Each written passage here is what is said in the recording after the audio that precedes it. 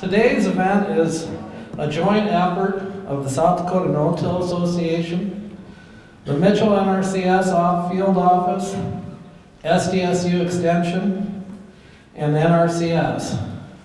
And one of the first things I'd like to do is uh, thank all our sponsors that helped us put together and provided input and money uh, for today's event. I'm going to just read through the list. Um, South Dakota Wheat Commission, Farm Credit Services of America, Wheat Growers, Mustang Seed, Monsanto, Prairie State Seeds, Next Level Ag LLC, Millborn Seeds, La Crosse Seeds, Dakota Best Seed, Agronomy Plus, Farmers Alliance, Mitchell, First Dakota National Bank, C and D Operations and Davidson County Implement, Scott Supply, Crop Tech, Ducks Unlimited, Aurora County Conservation District, Davidson County Conservation District, Hanson County Conservation District, uh, South Dakota No-Till Association, SDSU Extension, USDA and NRCS, and Pioneer Hybrids of DuPont. So let's give them all a welcome round of applause. Our second speaker is Lance Gunderson of Ward Labs. Um, Lance started the Soil Health Division of Ward Labs in 2011, and he's going to talk about some of the new aspects soil health incorporates into soil tests. Lance? Uh, good morning. This thing on? Okay, there we go. Good morning, everybody. Hear me all right? Okay. Well, I, am really glad to be up here today. Uh, unlike Jay, I had to come north for this trip, and uh, it's 70 degrees in, in Nebraska right now, where I'm from. And I kind of thought I'd see all the snow drifts and snow clouds, but luckily it's been a little warm up here last week, so I see a lot of water. Uh, you guys kept all the snow. We didn't get anything this summer or this winter. I think we've had about an inch of snow in central Nebraska. So uh, I've been at Ward Laboratories out of Kearney, Nebraska for about 16 years. I started there when I was a college student. Uh, so I've got a real good opportunity to learn a lot from Ray Ward. And uh, if any of you know Ray Ward, he always says he learned everything he knows from Dwayne Beck. So uh, I'm in good company that way. I get an opportunity to learn from these guys, and uh, I'm going to come up here today and kind of talk to you about some of the different testing opportunities we're working on. Um, they are, I say working on because they are a work in progress. Uh, we're still trying to develop these as we get feedback from producers and, and uh, universities and other growers. So today I want to talk to you a little bit about the Haney test. Uh, I, I used to kind of go through and talk about what the test was and, and what it isn't. I'm going to do that very briefly, but I want to focus more on results and, and what can you learn, what can you gain from it, how can we use it, and what should we not do with it. That's the other important thing, right? Um, it is a tool. It's a different tool in the, in the toolbox for you, but you got, you got to know how to use it properly and uh, avoid areas where you shouldn't be using it. So by quick show of hands, how many of you have heard of the Haney test? That's, every time I ask that, I get one more. How many of you have tried it?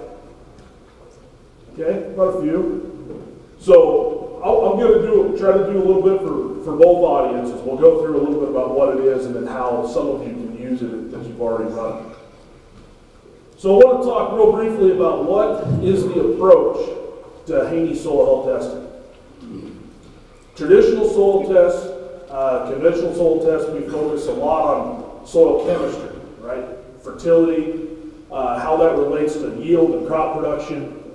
But when we start getting into soil health, we talk a lot about the physical, biological, and chemical property. So we need a soil test that is going to start looking at some of those other aspects of soil. Now, I went out and run over here. I stole one of these Jay said it was okay.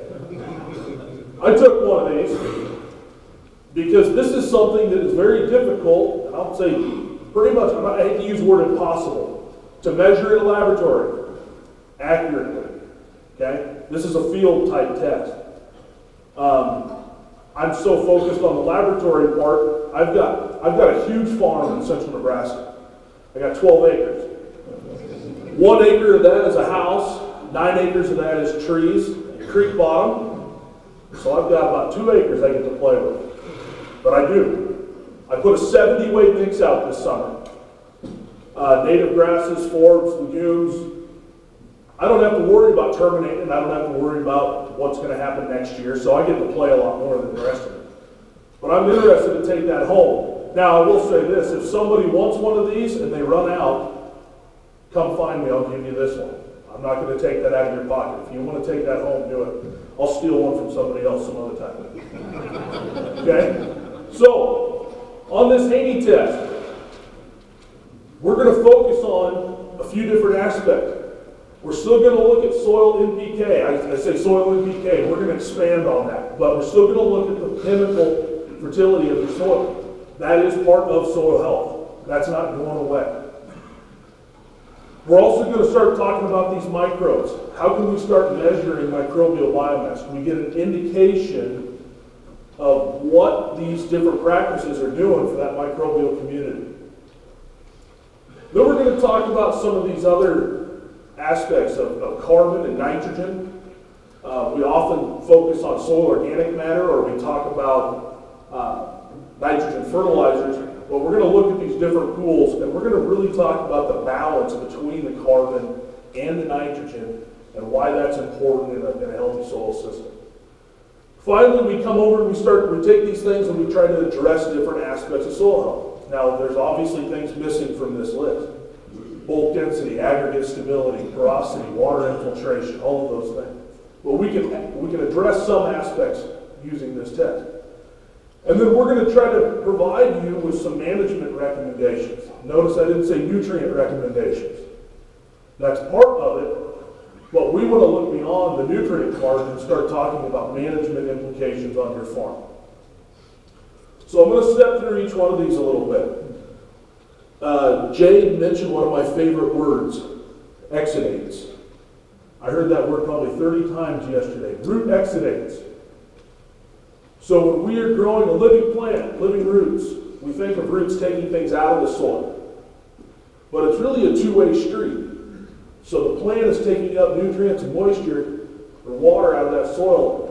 But at the same time, that plant is leaking different compounds back into that soil to feed the biology. And that does a couple of different things for the plant.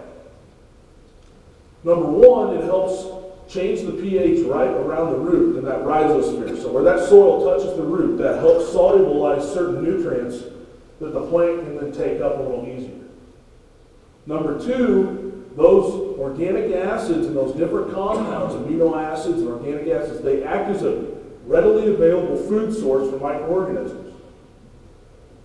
So those bacteria can't get up and move around, and the plant is helping supply it to the microbes because the microbes are going to help bring nutrients and things back in return.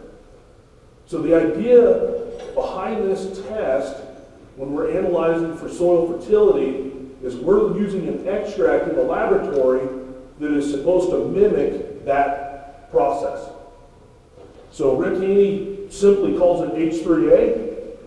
If you've heard of Mehlich or Olsen, uh, nothing different there. He just named this extract, and he's using three of the most commonly produced organic acids in that extract. And we're, we're extracting the soil and we're analyzing right now for these nutrients. So you'll see nitrate, ammonium, phosphate, potassium. One of the things, you know, you'll notice right away that you're missing things like sulfur, maybe zinc, manganese, so these are things that we'll talk about a little later, but we're gonna we're gonna remedy that problem a little bit. We're also gonna do uh, or measure what we call total extractable phosphorus. Because phosphorus in your soil, we understand, a lot of us know that when we, there's a lot of phosphorus out there that's not plant available. Uh, so we're going to start measuring that, that fraction as well. We want to know how much phosphorus is there. And finally, what are we looking at on the organic phosphorus? This is the, this is the stuff that's in solution in your soil. And the microbes can influence that and, and try to make some of that plant available. We'll talk a little more about that. So, when you have a living root, don't pay attention to the bottom half of this stuff, but the, this living root, we get all these plant root exudates that come out into the soil. The microbes then can feed on that. These are the different classes of exudates, the organic acids, amino acids. But when the microbes feed on that, it starts all of these processes, all of these cycles down here that have to do with nutrient movement and nutrient cycling in your soil. And eventually, the plant is willing to give up some of that carbon into the soil so it can take up some of the nutrients that the microbes make available. It's a trading, trading system. Right? No such thing as a free lunch. So the plant is going to do this because it's going to get something in return. Now, we take that crop, and now the crop is, is not living. This is a non living system. We get crop residues that go in, and, and we talked about decomposition. Well, part of this decomposition process, the microorganisms take oxygen they decompose these residues, and here's another really great word that everyone likes to use humus, humic acid, that's kind of a buzzword. Humus is kind of the stable stuff that stays behind from decomposition. The other byproducts of decomposition for carbon are we generate CO2 and water, and then that CO2 can go back up to the next crop. The part of that cycle that happens in the soil takes place down here where we will build up humic acids, and that's this immobilization part. So if you go up to, uh, well, we'll go up to the tundra, about 100 miles north of here, 200 miles north of here. There's not a whole lot of microbial activity taking place this time of year, right? That's part of this immobilization phase. That's where carbon and nutrients are, are staying in the soil because the microbes kind of slow down here. Decomposition slows down. All of this kind of comes to a little bit of a, of a halt. Doesn't stop completely, but it, it, it's sure hard to watch. Jay got bored after two hours of watching that water infiltrate. He'd stand out there for three weeks and not see a whole lot happen. But as this continues, the microbes produce proteins and polysaccharides those are the glues that we talked about, holding those soil particles together. So that's part of the aggregate formation, part of decomposition and, and the biology. This is the part, this mineralization part is the, is the part that producers really should pay a lot of attention to. Because feeding your biology, we talk about covers and we talk about manures and grazing and all of this information, but feeding all of those things, ultimately, you get a little return here uh, out of the soil. You put good in, you get good out. And you start to get nutrients turning back over in that soil, and that's what you're really after when you get around to growing your next crop. So the point is, how do we how do we kind of measure this, and how do we how do we measure decomposition? Uh, well, really easy way for you guys in the field is to watch. Don't stand there for four days, but when you come by, look at it. How fast is that residue turning over? I hear this all, I usually hear this one more often than the other. I've got corn stalks that I've seen in my field for three years. Okay? Very little, see, I've got a residue problem, right? You don't have a residue problem, you have a soil biology problem. The buildup of residue is the symptom. But that's one way to gauge decomposition. You get to the other extreme, I've got a few people that call me and say, I can't keep residue on my field. Right? That's the other extreme of that problem. You still have a biology problem. They're eating everything more than you want them to. Jay talks about trying to keep the ground armored and covered. And you'll hear that over and over. And that's a goal. But once you build the system up, that goal gets to be a little more difficult than uh, the other one at times. So one of the ways we can kind of gauge how fast this is occurring is we can measure soil respiration.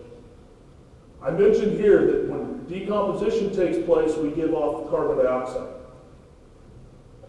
So when we look at respiration taking place in the soil, that's one of the ways that we can kind of see how fast this is happening.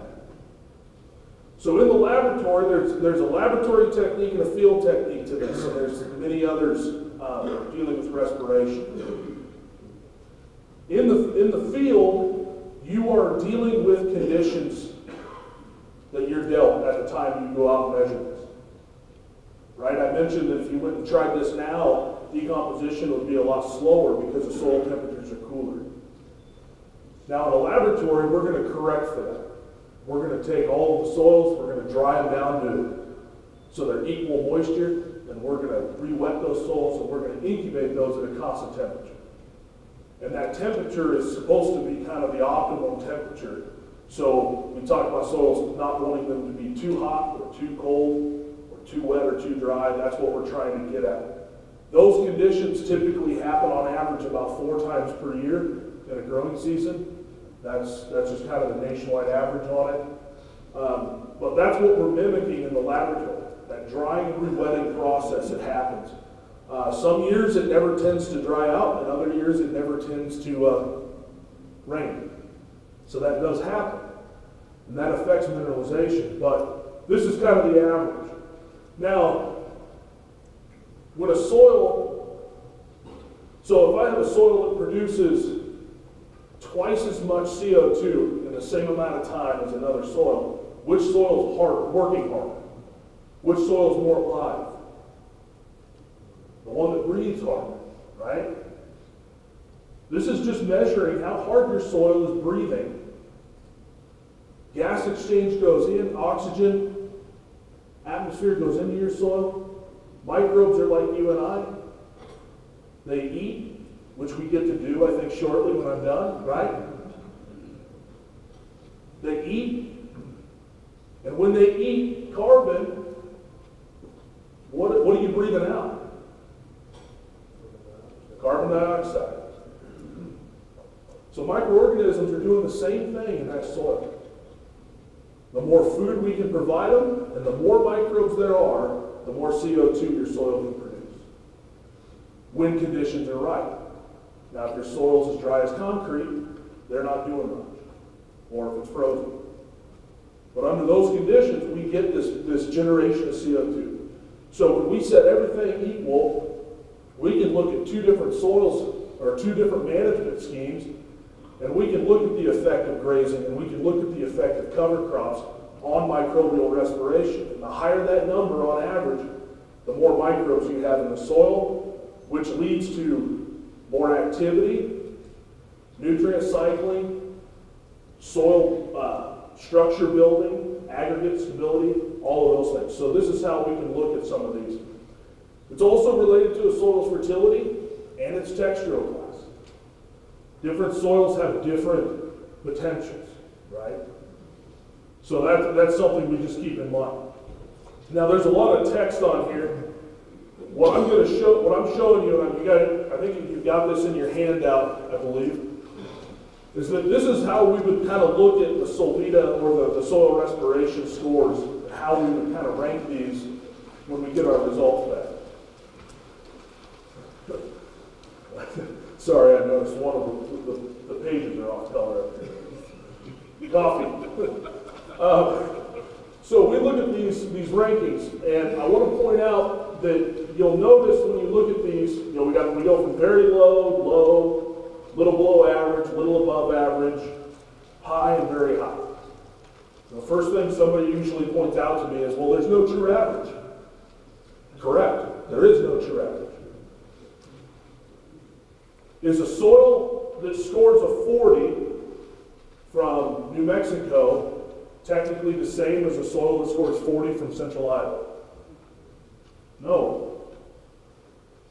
That soil in, New Mexico, I might say, with low organic matter, if it's respiring 40, I'm going to say that's probably getting above average for that area. But if I was in central Iowa, I'm not picking on anybody from Iowa if you're here, but was in central Iowa, I'd say that's probably on the low side. Okay? You've got to take some of that into account. It's really difficult to give a, a range for nationwide things. And, and hopefully in the future, we'll be able to break this down a little more and make it regionally specific. But right now, we don't have enough data. But what this means for, you know, so, okay, well, so I got my score. What does this mean? How do I, okay, grade it's low or grade it's high. What do I do? Well, typically soils that are very low, these are the, the characteristics they have. Little potential for activity, very slow uh, decomposition or nutrient cycling. If you're planting high carbon uh, crops, corn, wheat, milo, or high carbon cover crops, your residue might stick around for three years. And you also have usually a tie-up of nitrogen in that system because the microbes have a lot of carbon to eat, but they have very little nitrogen to use to break down that carbon. And they need the nitrogen to break down the carbon. Now, if you take the other extreme and you say, okay, well, I've got scores consistently above 100, I've got very high, your nutrient cycling and your residue decomposition are taking place very quickly. So from a management perspective, this will kind of influence you or could guide you a little bit on, well, what am I going to put out there for, you know, if I'm interested in covers, what am I going to go with? You know, we see, if you Google cover crops and you get online and you see guys standing in their cover crop fields that are this tall, right, and they're, you know, or they're holding radishes. I love Dave Brandt's picture of that radish, it's like six feet long. Is that really what you want if you've got really low respiration? Probably not. Matter of fact, I'll just say no. Because you're going to be really, really upset with whoever got you convinced to go plant a cover crop. If you've got a really small fire, think of this as fire, and you go dump a truckload of logs on it that are all this big around and that long, you smother your fire. Okay? So we want to start small. We want to start with stuff that has a low C/N ratio. We want to start with cover crops that'll break down quicker. Now, if you have cattle as a tool or livestock, you can get away with growing something this tall because then you change how long you're going to graze it and when. And then you talk to somebody smarter than I am and figure out when, you know, how to make that work. I don't run a lot of cows on my 12 acres. I've got an Alaskan Malamute and uh, about 15 coyotes and a wild cat or two, but they don't like to graze much. So, you, know, but you see what I'm saying with this? This is how we can use some of this information. If you come back and say, well, I've got a really big fire, that question of grazing before, how much do you take, how much do you leave? Well, leave half. If you're, if you're in a really bad situation where you got a really small fire, you might graze it down to, you know, you might take two thirds and see if that residue still disappeared. Because you don't want to bury yourself either. So this is how we kind of use respiration. Any questions on that? I'll take questions in the middle. No? Okay. The third part of the Haney test is a water extract. So I mentioned that we evaluate plant nutrients on what's called an H3A extract. The other part of the, of the test is we do a water extract. I need a little water right now. Now, I ask, you know, people ask me, why water? You know, what, I mean, they think of a lab and we, you know, we're playing with chemistry and chemicals and all this stuff, and why water? And I asked Rick Haney, I said, why water? And he said, well, believe it or not, it actually rains water. I couldn't argue with that logic. So, he's using water as an extract because he wants to know what the microbes are exposed to and what they see in that soil environment. Now, obviously, when that water gets into your soil, there's other things that get mixed in with it. But part of that is what we're measuring, the stuff that, get, that gets mixed in with that water. So here in a little bit, we're going to have lunch. And unless, uh, unless Ruth really set it up beautifully for us, I imagine we're going to have to get up and walk out there and get a plate of food. I tell you, it's tough. Tough work. Microbes don't have that ability. Right? Bacteria don't have legs. They don't have arms. And, I'll take you down memory lane. Think back again, that high school biology class that we were talking about earlier. I know you didn't pay attention to the stomata thing because that, I went through that 10 or 12 times. That's, that's tough. But you remember when you took pond water and put it on a microscope slide and you're looking through there and you see stuff dart around and swim all over? That's what we have locked in our head up here that's going on. We think microorganisms are just swimming all over the place. They do not do that in soil. Bacteria and fungi live in, in colonies and groups and they're adhered to soil particles and around organic matter. They don't just move around. So they need a food delivery system, a really good one. They don't, they can't move around, so water is that food delivery system. So when it rains, we wash residues, we wash carbon into the soil. As that passes by those colonies of bacteria and microbes, they can take, they grab onto that, use it. When it moves laterally in the soil, same thing occurs. Or how about when your soil starts to dry out and the water starts moving back up? Same thing occurs. So this is why we're looking at the water extract because we want to get an idea of what's in that water, what's in the soil that can be in the water that the microbes can utilize. And what we're going to measure is we're going to measure organic carbon. Now we talk a lot about carbon, and I want you to keep in mind this is how much carbon we can extract with water. It's not the same thing as organic matter. I'll mention that in a minute. We're also going to measure extractable total nitrogen.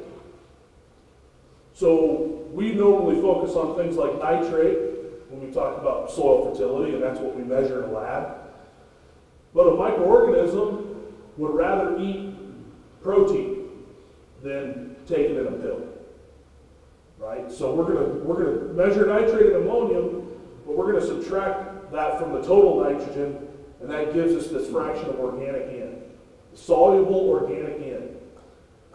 Then this is the balance we're looking at. We're gonna look at how much C/N and what the balance is of that food for the microbes, and we're gonna talk about mineralizable N and organic N release, and finally Rick gives you what he calls a soil health score. So I, I promised you I'd give you a quick mention of soil organic matter versus water extractable. The best way I can describe this is that soil organic matter is the quantity of carbon and it represents the house. So the higher that percent soil organic matter, the bigger the house. The bigger the house, the more microbes you can have, you can hold. Right? Water extractable organic carbon represents the amount of food in that house. Okay? They're related, but I've seen soils with 1.5% organic matter have really high water soluble carbon numbers. Because those soils typically have a large input. If you're trying to fix them, they got a large input of manures, maybe compost, compost teas, those are all sources of organic N, and they're growing covers if they can. And I've seen soils as high as 6.5% soil organic matter that basically have less than 100 part per million soluble carbon. Great big house, no food. So a follow-up question, how many of you have kids? Nobody wants to admit it. All right. Okay. Well, I've got one. She's eight months old, and if she keeps growing, I don't know how I'm going to feed her, but because she, she's from daddy's snot, right? what happens if you have a bunch of teenagers in the house and you don't have any food in it? Doesn't work real well, right? Yeah, they leave. I heard that. They do. Microbes will starve. Okay, microbes are teenagers. Another way I describe them is the mafia. they take their cut. Okay? The point is, is that if you don't keep the refrigerator stocked, if you're not constantly, this goes back to what Jay was talking about, if you're not constantly putting carbon into the system, the microbes will burn the house down. And they have to to survive. And you can relate that to, to cattle grazing. How many of you seen the movie Jurassic Park? Anybody have a fence around their pasture that looks like the one they had for T-Rex? If you built one, and you put your cows out there and never moved them, they'd eat everything. Eventually, they would eat it. They try. Because they have two choices eat it or starve. If you are feeding hay, or if you're doing that type of system, when it gets cold out, you dump a semi load of hay bales into the bunk and just say, all right, see you in five months. No, it's a constant input, right? Soils are the same way. You've got to have more of a constant input. When we grow annual crops with nothing behind it or in front of it, we end up with, well, what do you, you guys got two week growing season in North Dakota? You get about four weeks down here. So you get what you get. You get what, three months, four months, five months of growing season? And that's your input. That's your carbon input. And then we take a whole bunch of that carbon and we haul it to the elevator and say good luck. So my point is, is that if we put low energy in here, this is the energy, the soluble stuff, and we're feeding this, they start burning the house down.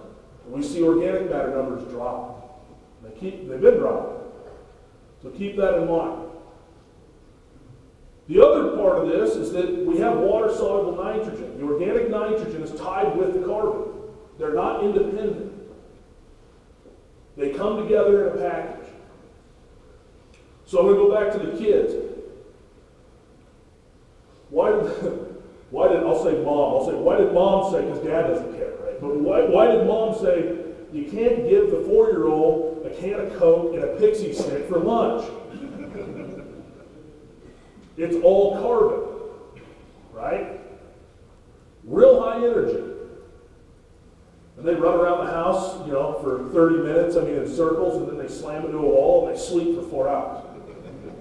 It's real high carbon, no nutrition. Okay? So let's take the other extreme. Why can't you just feed them a bunch of multivitamins? No energy. No energy. You need both. The doctor keeps saying you gotta eat a balanced diet, right? I'm probably a little too high on the energy side. That's okay. Don't tell the doctor. Your soils, most of your soils are really high on the nutrient side. They're really low on the energy side.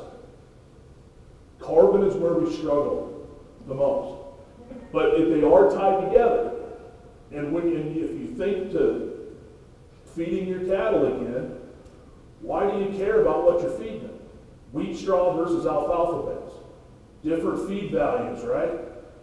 Different gains, different energies, different, I mean, so what we put into the soil has an effect on what the microbes are able to do for us. So we start looking at this soluble organic nitrogen. This is the pool of nitrogen that's available to your microbes.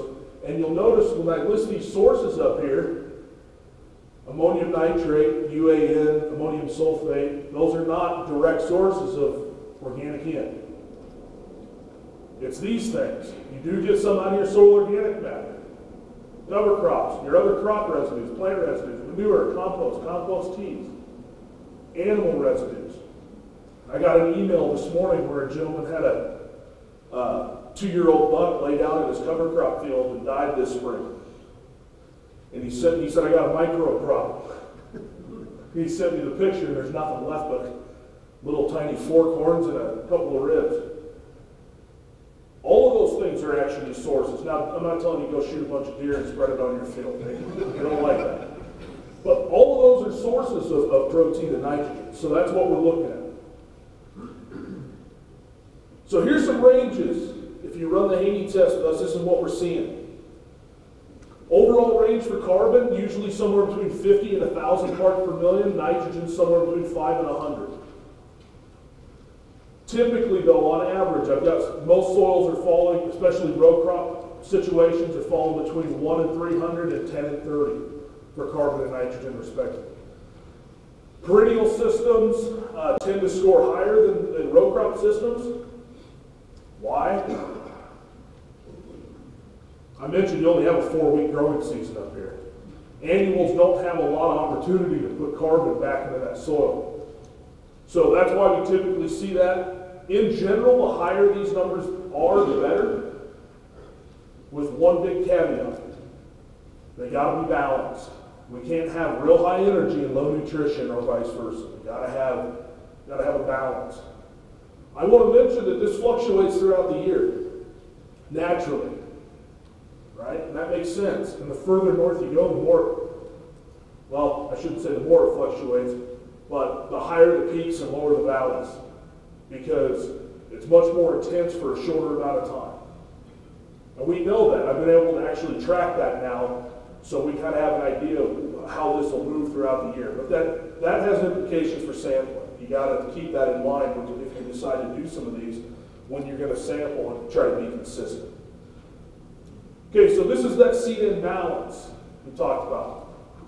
On the test, we mentioned that when we see a C/N ratio above 20 to 1, we will give you no credit for, for mineralization for nitrogen. Okay? Nitrogen is limiting in that system for bacteria. Now, this is not, this 20 to 1 C/N ratio is not the same as the C/N ratio of your cover crop mix. It's not the same as the C/N ratio on your organic matter. This is somewhere in between there. This is what the microbes are actually eating on. But bacteria have a C/N ratio. Anyone want to take a guess? Corn's 80 to 1, usually at maturity. Bacteria have a C/N ratio of about 3 to 1. That should be like, oh, that, that should be revelation though. Just look at it. What that means is, is that bacteria, bacteria really crave nitrogen. For every three carbons that they need, they need one nitrogen. Okay? Soybeans are what, 30 to 1 in that range? So what I'm saying is, is that if, if the nitrogen is limiting in that system, in their food, the organic N, they tie up nitrogen, they keep it from the plant. So that can be detrimental. Ideally, we like to see this to get between 8 and 15. That's where we, we'd like to get it. And crop rotation, uh, crop rotation plays a role in it, so do just inherent soil properties. Um, some soils have, tend to have a higher C/N ratio than others.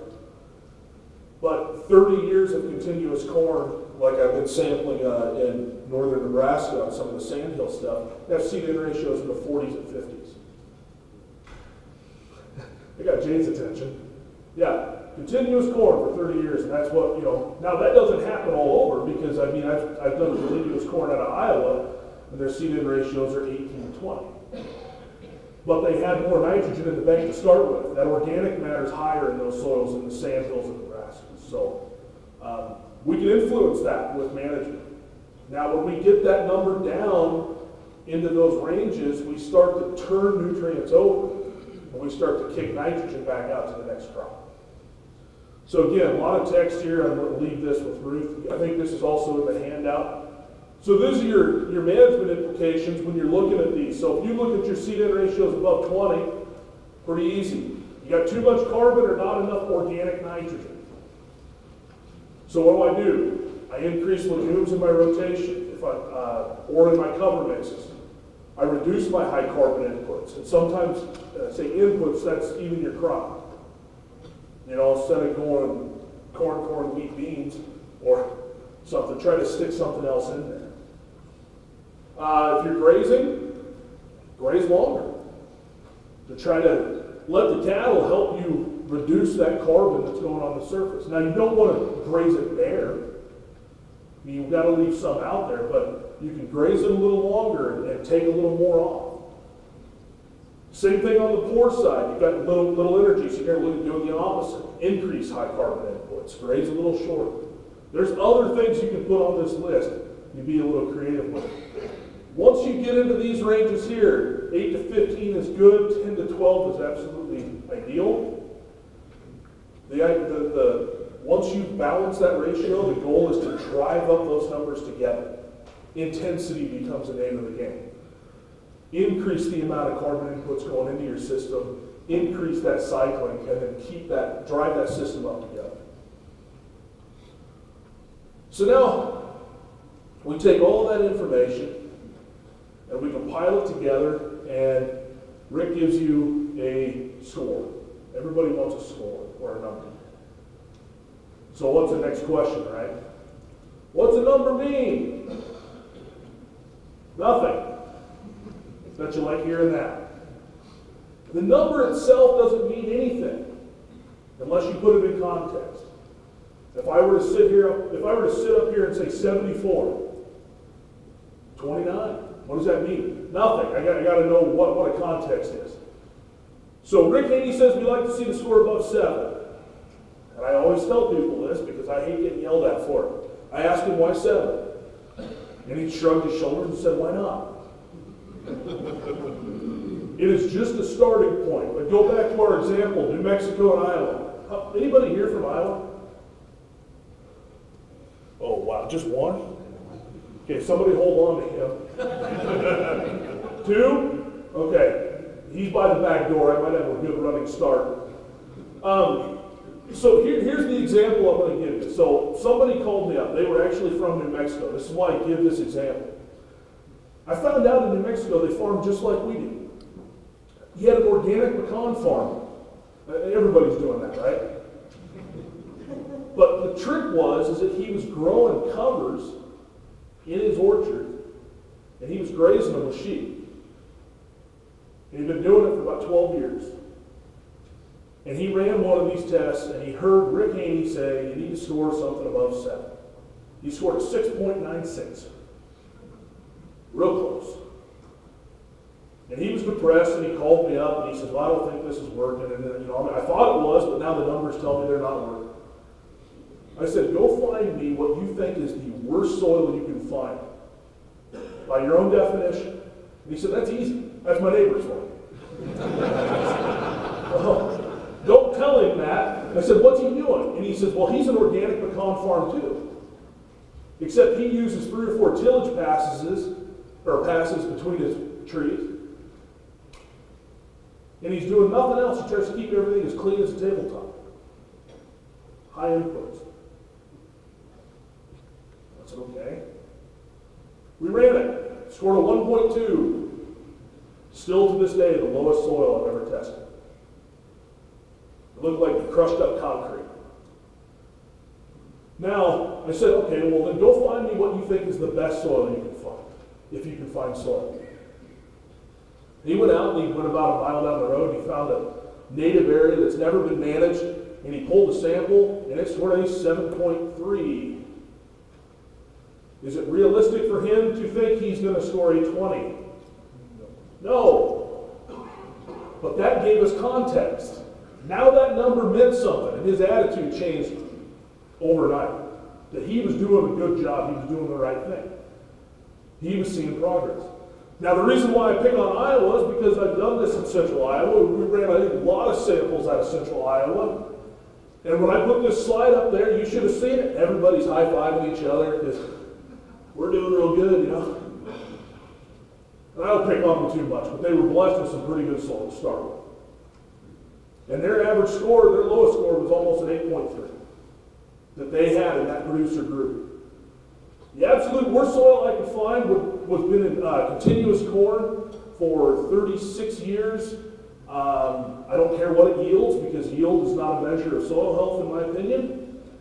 Uh, been tilled, uh, average two passes per year for over 60 years. Scored a 7.7. But when I found that best soil I could find in central Iowa, scored a 29. So suddenly, eight and a half isn't looking too good anymore. Okay? But I tell you that story because so many people are, are interested in what this number is and what it means, but you got to put it into context. And you can do that on your own farm really easily. You go find a soil that you think is really poor and one that you think is really great. Try to look beyond yield. And you don't need to spend a lot of money doing it. You don't need to run 100 samples. You run two.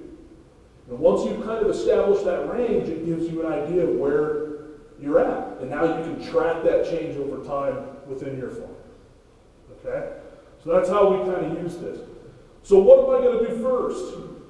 if I get this, I'm gonna balance the C/N ratio first. That's my goal. Um, I usually tell people this, the way I think of that is that I've got a friend of mine who's a real car, he's a, he's a mechanic, he's a car guy. He came to me one day and he says, man, you should see, I got this, I got this Corvette I bought the other day. You should see how fast this thing goes. I said, no kidding. He goes to start it and it won't start. I said, yeah, it goes zero. That's great. I don't care how fast you think it goes or how high the speedometer says. If you don't get the engine started, you'll never find out. Balancing the C/N ratio is what helps get the engine started. Once you get it started, then you can fine-tune the system. But until you get that process going, you know, Jay talked a lot about the transition. You know, you do things a little differently in those transition years than you do at year seven and eight and nine. Because your soils build up resilience, they become more resilient to drought, compaction, disturbance. So it's during those transition years you're going to work on balancing that ratio. So I mentioned this, start with the soil health score. The soil health score immediately, if I've got two samples under different managements, I look at one and it's 15 and I look at the other and it's 8, that tells me something right away. Without digging into it anymore, it tells me something. Now, if I use that equation that you all have in that handout, I believe, you can actually go through and determine, okay, where am I doing well and where do I need a little help? I'm balanced on my ratio or I'm not, or well, my carbon's pretty low, I should increase that. And if you do those things, your respiration should go up because if you provide microbes more food and a better habitat, they'll reproduce and they're more active. And I mentioned this, talk about establishing ranges on your own farm. Again, it's or, or with neighbors. You know, if you've got neighbors that are interested, I wouldn't advise hopping the fence to your neighbor because you think he's got the worst soil. That's a pretty risky, but work with them. Work with them, see what you can do. Last, last couple slides here is when and how do I use it? There's two major ways you can use the Haney test. One of them is just tracking different soil health indicators. That's probably the most popular way of using the test right now, and that's probably what I would recommend. You can sample this any time of year. If you want to get out a snow shovel and scoop 60 inches of snow out of the way, or have Jay do it, he's a professional, and get out a drill drill a hole, go for it. You can do it any time of the year, but that means that you got to do it about the same time every year.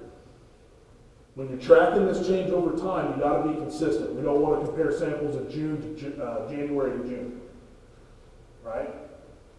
How often do I want to do it? I put up here once per year or every other year. I would even tell you every three years, depending on what you're doing. I tell guys in central Nebraska, they, you know, well, I'm really excited about soil health and I'm going to try to do some different stuff. Okay, what are you doing? I'm going to go no-till. That it? Yep, I'm going to go no-till. Okay, that's fine. That's a great place to start. But there's no reason to run this test every single year if you're just going to stick with your corn bean rotation and go no-till with all the high inputs. Because this test won't tell you anything that you, you're not going to learn anything. So I'd, I'd be looking at at least three years. Now, if you get really excited and you leave here and you say, you know what, I'm going all in. I'm doing the whole bull wax, I'm doing all in. We're going to get livestock integration, I'm doing different cover mixes, I'm changing my whole rotation, I'm parking all the equipment, we're going to do all this stuff. Test once a year. Once a year. Because you're going to start seeing changes occur much quicker that way in that type of system. You don't want to waste your time and money with it. The other way, and oh, and keep in mind that during those transition years, there's bumps in the road, not just watching them in your field. We'll see that on the test. A lot of times, the first year using cover crops, these numbers go down. And it makes sense. Because now your soil is trying to support more plants than it's had to support in 100 years. So some of these numbers go down, it, it's kind of a shock. Take that one step forward, two steps back approach the first year. And eventually you're taking two steps forward, one step back, and then after three to five years, depending on what you're doing, you just kind of see more of a steady trend out. But we do see that on here. The other way of, of using the test is for nutrient management. Now, I say nutrient management, right now it's really nitrogen management. Uh, we're still working on this. I actually just got back from Rick Haney's place a week ago. It was 88 degrees or something like that in Temple, Texas. So it's coming. I think they're, I think they're planting corn next week. Uh, it's pretty bad. But nutrient management. We talked about, you know, it, it makes sense prior to your fertilizer application when you're trying to reduce some input cost. And then if you're using that, you got to sample every year. But I want to talk just briefly a little more about nutrient management. So I'm going to focus on nitrogen right here on this slide. Excuse me. On a conventional soil test, most soil tests from any lab, you were going to get nitrate as a credit. So when you call and say, how much nitrogen is in my soil, generally we measure nitrate and we give you a number. Excuse me. And the Haney test, now, now that, I'm going to say this, Dwayne, don't throw anything at me. That works to a point. And what system you're in, it, it, it works. But as we get away from, as we try to, you know, get on board and get everybody together and move away from those, you know, conventional paradigms of, well, I'm going to grow this crop and this is what it needs and I'm going to put on this much because I already have this much in my soil. We try to get away from some of that. We can't just measure nitrogen. We probably can't just measure these three things either, but this is where we're going to start. On the Haney test evaluation, we're going to look at that same nitrate, but we're also going to measure ammonium, and then we're going to calculate or estimate, it is an educated estimate, how much of this organic nitrogen pool is going to become available to you in that growing season. That's the magic question, right? How much nitrogen can I get out of this? Well, the way we're going to do that is we're going to look at three things. We've already talked about it. C/N balance. If your C/N ratio is really high, the answer is zero. That's the credit we're going to give you. None. So that's the first thing we look at. Now, if the ratio is balanced, the second thing we're going to look at then is how much organic nitrogen do I have in that water extract from the test? If you've got 10 pounds of organic nitrogen in that water extract, guess what your maximum credit is? 10 pounds. We will not give you a credit any higher than that because we couldn't measure anything higher than that. The third thing we looked at is microbial biomass, that Solvita, respiration. I told you before that if you have really low microbes, really small fire, what's your potential for decomposition? Really low. You have a really low potential for decomposition and nutrient cycling. We can't very well give you a high credit for nitrogen out of that. So those three things get factored in to this estimate of mineralization. So what happened in 2012? Nobody likes to talk about 2012. I had a guy call me from Kansas and he said, There is no way I got that much mineralization this year. It's too dry. And I said, So? Did you grow a crop? Well, no, I didn't have any water. Well, then what difference does it make? You understand what I'm saying? Is that we're, we are estimating this, and when conditions are really bad and you don't have water, yes, we are probably going to overestimate. But if you're in a dry land situation, water is probably going to be your limiting factor, not nitrogen, in most situations. On the other end, we get a really great year, weather year, and we're probably underestimating a little bit on how much of that's going to become available. Because if you're getting good times and rains and your temperatures are, are uh, not too extreme soil temperatures, we can get some pretty big numbers out of this. So on the report, what we're showing you, this is actually off of the soil report at Ward. We show you what a traditional evaluation would be, that's nitrate only. We show you what the Haney test evaluation is and then what the pounds of N difference is. That difference sometimes is minuscule. It's five pounds to the acre. The guys across from the lab in Kearney, they, I think they do about six tillage passes a year, still diphenidate anhydrous, um, corn, corn, bean rotation. And I've run one of their soils just to see it, and pounds difference was about two point three. Doesn't do any good. So this test, I would tell them, don't even run it, it's not gonna help you. It, you know, it just tells you what we already know. Now, on the other extreme, uh, who's, who's, who's, uh, who's South Dakota's soil health producer of the year? Who's a big name in South? I always throw out Gabe Brown, but I, I don't want to do that because I'm here. I don't want anybody to know boo or his. All right, nobody's going to volunteer. Okay, Gabe Brown, we run some of his soils. The pound, the, the difference that we see on his is about 100, well, he's about 80 part per million, so about 150 pounds of difference. His nitrate, his nitrate numbers are typically below four pounds to the acre credit. So if we were giving him a nitrogen recommendation for 150 bushel corn, we'd tell him he needs to put on 150 units in, because he has no nitrogen in his soil. But then he turns around and grows a big corn crop with no nitrogen application, and it's coming from somewhere. A traditional test doesn't show us any of that. The Haney test tries to show us some of that. Now, it doesn't always work. And I certainly wouldn't tell you to go out and reduce your nitrogen application 150 pounds just because the test said so. Gabe's a little different monster, right? He's pretty confident in what he's doing, and he takes that as a challenge. So he's going to try it out. Point is, is that this is what we're trying to do, and as the, as the soil gets healthier, that credit gets larger. Because most of our soils, if we're in a conventional system and they're not very healthy, what we have is an inorganic nitrogen pool, organic nitrogen pool.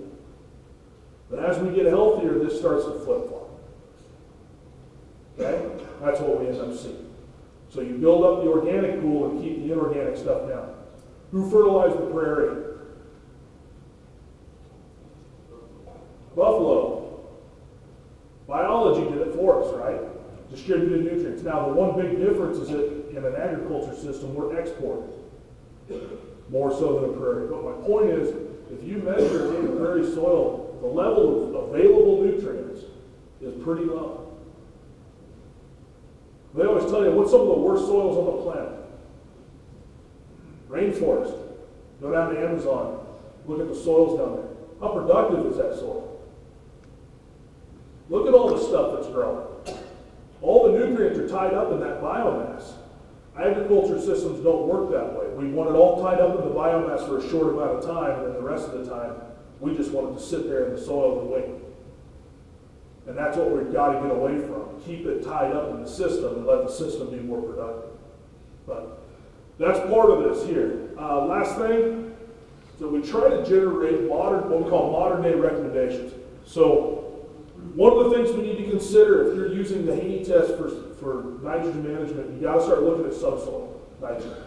In most dryland situations, especially in this part of the country, subsoil nitrate, don't run a Haney test on your subsoil. It is a waste of money. Unless you're really interested.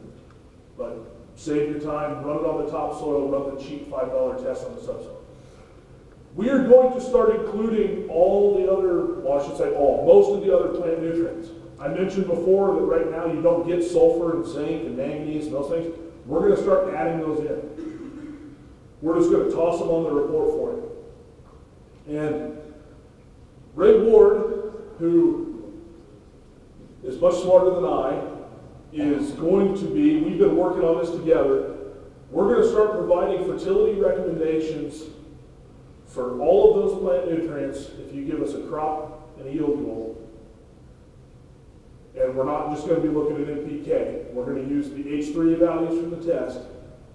And the way we're doing that, real quickly, not to get into it too much detail, how many of you have you heard of Mehlich 3 phosphorus? You heard of Olsen phosphorus? Bray P1 phosphorus? Seen those? Heard of them a little bit? All three of those tests are analyzing the exact same thing. But they're just using different chemistries to do it. So you get three different numbers. Well, in this case, we're using the same exact techniques to measure potassium and calcium and iron and all those things, but we're using a different extract, so we get a different number. What we've been doing for the last three to four years is we've been compiling a database of samples where we run all of these nutrients, and we also run a traditional test, and we're running on the same sample so we can start to kind of correlate how these are related to each other. For example, potassium on the Haney test will be two to three times lower than it will be on a conventional test using ammonium acetate. We've got around 14,000 samples that say that's true from all over the country. So now that we have an idea of how that works, we can start using the, the current recommendation equations and using these numbers in those equations. We just adjust that before we put it in there. Does that make sense at all? So we're going to start offering this. Um, we're also going to be changing the factors. How many of you, has anybody ever figured out how much nitrogen you need to grow a bushel of corn? If you ask 10 different people, you'll get 10 different numbers, usually. I mean, you know, universities tell you different things and labs tell you different things. We ran into a great example of this um, with some data that, I don't know if I should even say, that Dwayne sent us here recently on some Milo stuff. One of the big problems is that Rick Haney's using a different value for nitrogen on, on crops than South Dakota State or Ray Ward. So we're going to eliminate that problem too. We're going to, we're going to make those the same, and hopefully that'll help uh, make recommendations a little better. Uh, beyond the fertility recommendations, this test allows us to make some recommendations to you about management.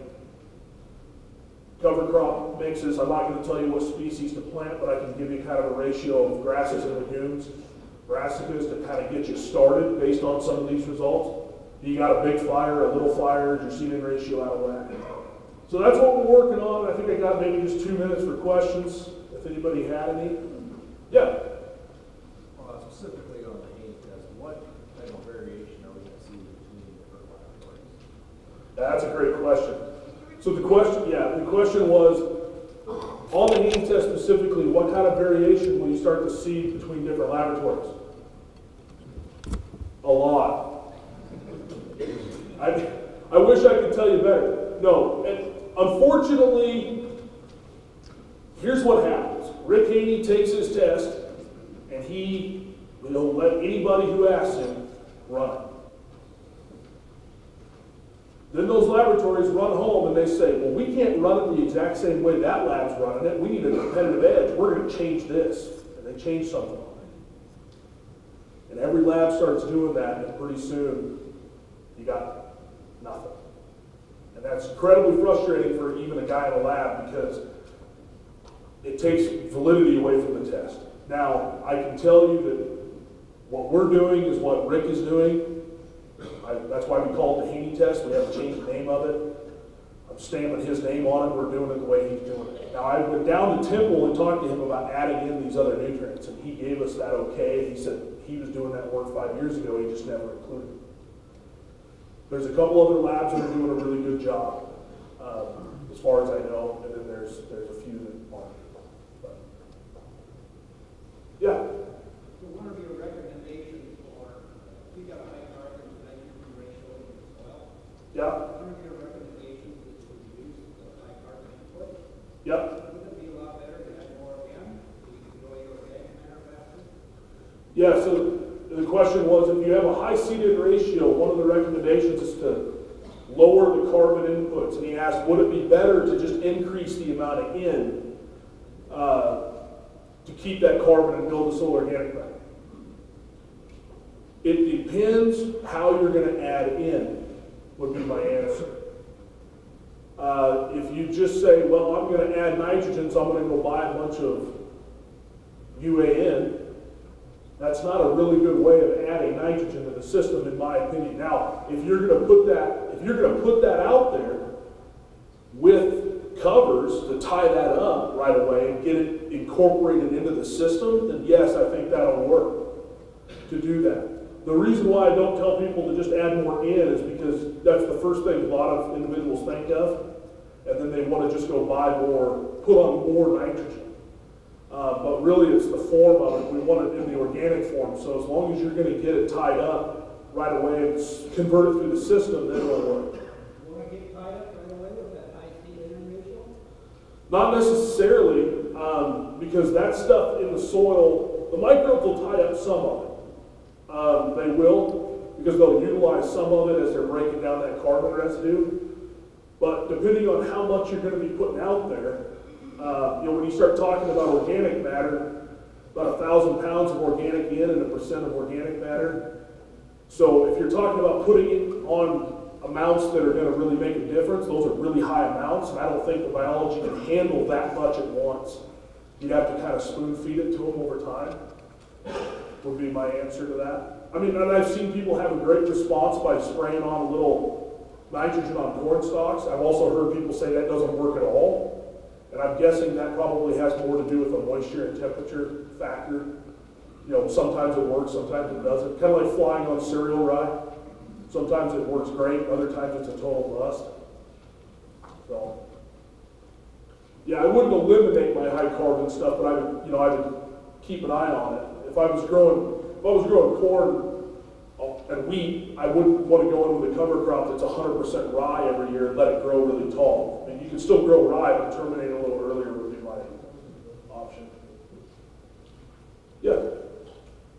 Go ahead. Lance, you, you, uh, you talked a little bit about the mineralization rate that the records, uh, you know, recommend. Is there a, a range of effective precipitation that really we should be looking at for that recommendation, or should we be increase or decrease depending on where we are?